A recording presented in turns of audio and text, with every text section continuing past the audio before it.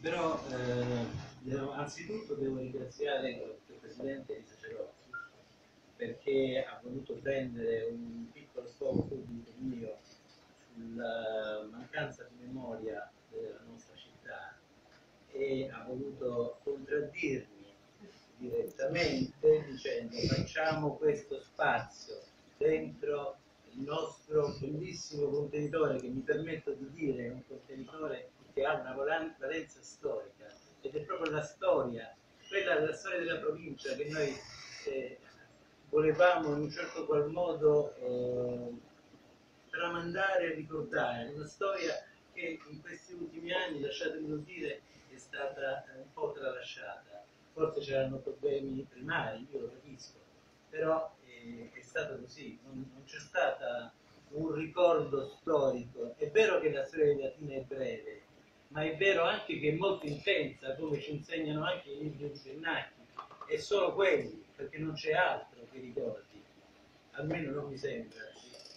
Ed è bellissima questa cosa di voler decidere di ricordare un personaggio che non c'è più nella provincia, eh, una, una volta l'anno un personaggio diverso, sono contento che abbia voluto cominciare con mio padre.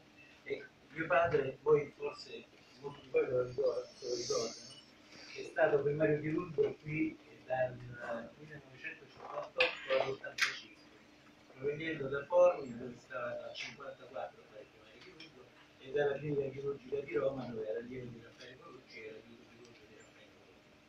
Lui è venuto, è venuto perché sapeva che era una città in crescita, è venuto perché eh, c'era un ospedale da venuto portando tutta la sua famiglia, anzi accrescendola con un ulteriore figlio, facendo crescere i figli qua e, e- e partecipando alla vita sociale e politica della provincia che considerava la sua provincia, dove è rimasto fino alla morte.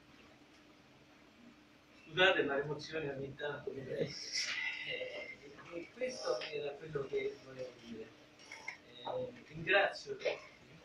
Mi dicono che oggi siamo all'inizio di una nuova primavera e penso che questa primavera ci porti un po' più di memoria della storia, perché penso che sia fondamentale recuperare, eh, voi lo sapete com'era Latina allora, negli anni 50 e 60, Latina allora era l'America, no?